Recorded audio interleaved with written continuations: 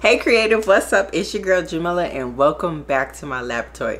Today I'm going to show you how you can perfectly sublimate a sequin pillow just in time for Valentine's Day. Of course, I'll walk you through the whole process and everything I use will be listed in the description box below. And if you like this video, you learned something new, make sure you give it a thumbs up, share this video with your friends, and make sure that bell notification is on so you don't miss any of my upcoming craft tutorials. Okay, so for this project, I'm starting off in canva.com so that I can create my design. And I'm just going to go ahead and hit create a design, go to custom page, and I'm going to enter 11 by 8.5 because I'm using 8.5 by 11 paper, but I want it to be landscape, okay? So whatever paper size you're using, go ahead and enter that here. And we're just going to go ahead and hit um, create design. So this is going to be pretty simple, okay? But I am using Canva Pro. So if you don't have Canva Pro and you want to try it for free for 30 days, I will have a link for you in the description box of this video. So first thing I'm going to do is just go ahead and search through my uploads. I got I have so many stuff, so much stuff. So I'm just going to search through my uploads and find the picture that I want to use for this project. I, I decided on my picture. So I have this picture, but I don't want this background, right? So I'm just going to make sure the picture is selected, hit edit photo, and I'm just going to go ahead and remove the background. And of course, the remove background feature is a Canva Pro feature. So if you don't have Canva Pro, uh, you can, I'll have a free 30 day trial link in the description box of this video. Now what I'm going to do is just go ahead over to my elements and I'm going to type in heart. Right here under frames, it'll pop up. So I want the heart frame and they have a couple other different shapes too as well. But this is the one I want, right? So I'm just going to go ahead and drag my picture in there. And to adjust this, I'm just going to go ahead and double click it and drag it down or, you know, position it to how I want. But that looks perfect. Now, if we leave it like that, like it doesn't it doesn't really look like a heart or anything, right? You can't really tell. So what I'm going to do is grab this heart shape. No, actually, no, I'm not. I lied. I lied. Is it it doesn't want to delete? All right, let me go ahead. Okay, so I'm going to grab that same heart frame that I just used. And I'm going to go ahead and type in Valentine background.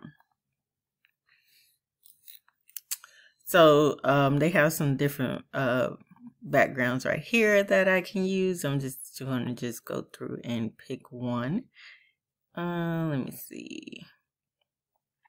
Or also, you could grab some from Creative Fabrica, like some Valentine digital paper or whatever digital paper that you want from here. Um, Creative Fabrica is like a monthly subscription thing, and you can just go ahead and download anything that you want as much as you want and you'll have like the commercial rights and all the other stuff to use.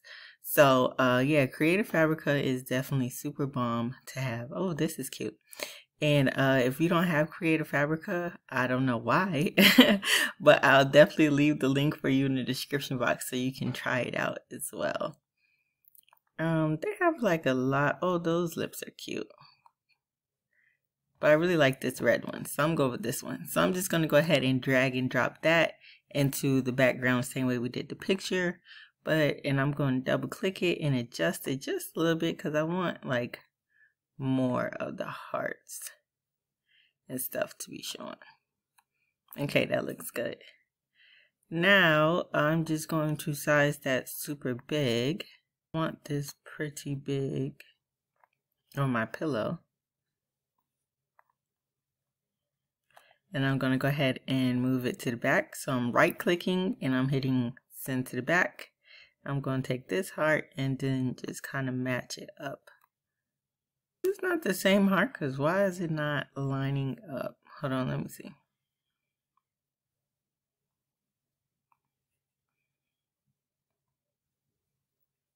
Oh yeah, I used to. That's not the same heart. Okay, here it is.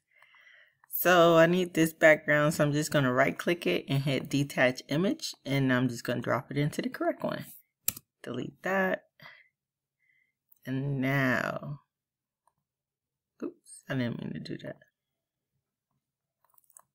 Okay, yep, see, now that fits in perfectly. Let me make it a little bigger.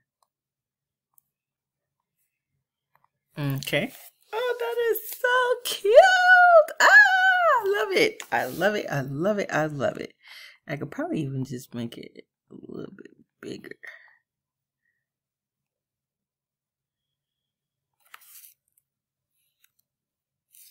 Okay, awesome. So yes, I absolutely love this. So I'm going to take both of these. I'm just going to group it together. So now whatever I do to one, I do to both, okay?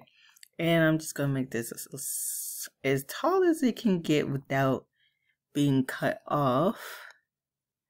And that looks like it might be cut off just a little bit. Okay. Perfect, perfect, perfect. Now we can go, I mean, you can mirror this if you want.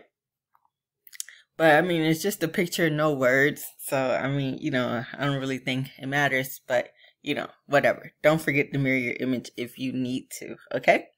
So now we're done with that. I mean, like that's the design and we're just going to go ahead over to save hit download and you want to make sure you download with the transparent background because we don't want this white okay? We just want the heart in the picture.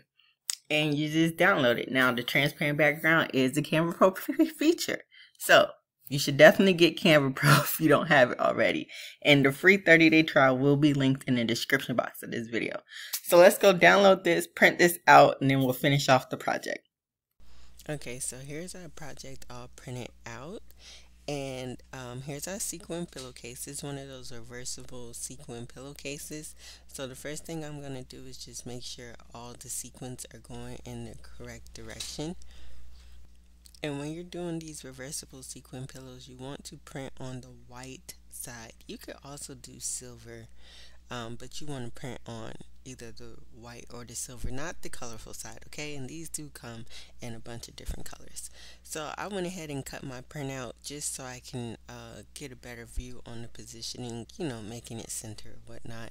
And I'm just going to go ahead and flip that face down and secure it with some heat tape onto the sequins and then we're going to press this at 400 degrees for 45 seconds and I'm covering it with some paper now when you press this either you want to do a high temp in few seconds or more seconds in a lower temp right? You don't want to do both. So I don't want to do 400 degrees for 60 seconds.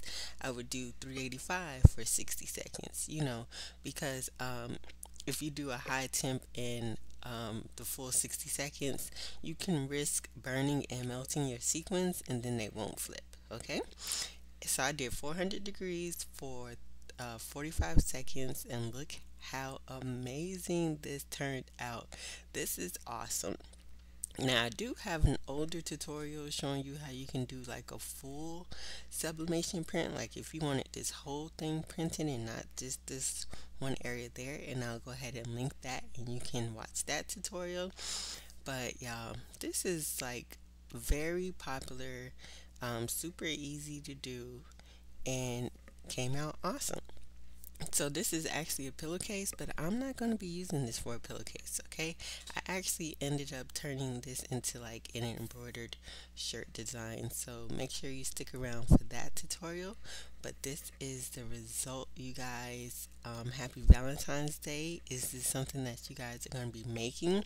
You know, the pink and white ones, the red and white ones, the silver and white ones, all those are like super cute um, Valentine's Day colors.